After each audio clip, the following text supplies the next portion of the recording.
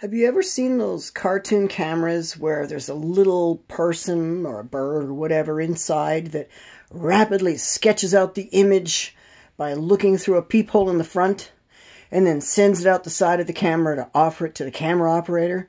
Like there's a little living creature inside the camera.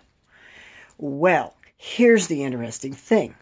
That is exactly how the camera started and how it was invented artists discovered that they could project through a round globe of water onto the canvas an upside down image of the scene to be painted. But in order to do this, they had to block off half the room. They had to obscure half of the room with something very dark, a dark wall or camera or screen, in order to darken the area, in order to see the very faint image projected on the canvas.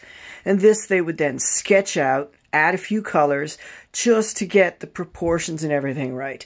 Then, of course, they're going to remove the curtaining and they're going to spin that canvas around and they're going to be able to to to finish the image.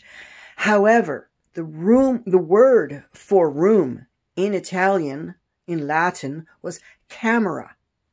Camera. So in point of fact, when the camera was invented, the guy who invented the camera took this extremely well known and very old trick of taking a square box with a hole in one end and projecting an image onto the back of that box. And instead of a little guy with a paintbrush, he added a chemical solution that he had or someone had invented and discovered, which was affected by light and which would change when exposed to light. And that's a whole nother story.